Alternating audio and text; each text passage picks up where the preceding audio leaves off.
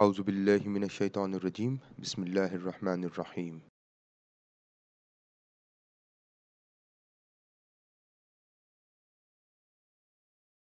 Data distribution in PLS SEM a number of times I've been asked whether we should check for normality of our data when using PLS SEM, primarily when using Smart PLS. Now, in this short session, we are going to look into whether we should check for data distribution or not. When the researchers collect quantitative data, that is the survey data that we collect, the answers to the questions asked are reported as a distribution across the available predefined response categories.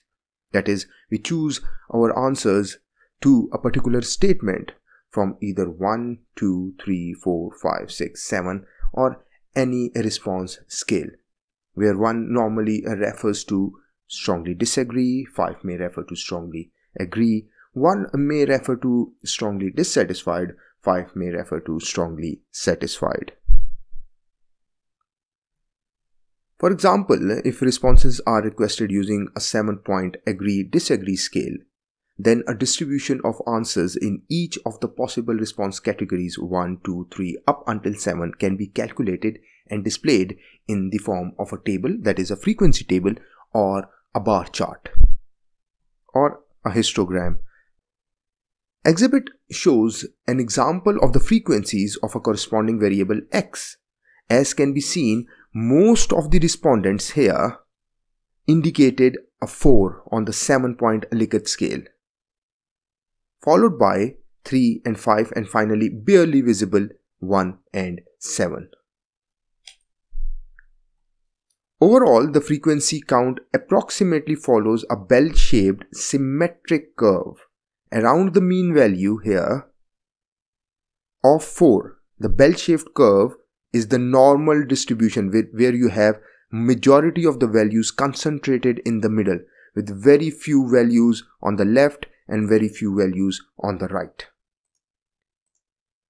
Now there are different ways the distributions exist and they can be normal, binomial, Poisson, Researchers working with SEM, structural equation modeling, generally only need to distinguish between normal from non-normal distributions. Normal distributions are usually desirable, especially when working with covariance-based SEM when using AMOS or any other tool like LISREL as well.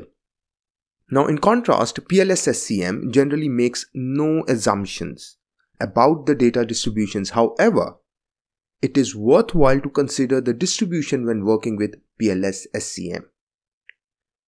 There are no assumptions, but still you cannot neglect it. To assess whether the data follows a normal distributions, you can apply Kolmogorov-Smirnov test or Shapiro-Wilk test. However, in majority of the cases, what we normally do is researchers examine two measures of distribution that is skewness and kurtosis which allow assessing to what extent the data deviates from normality.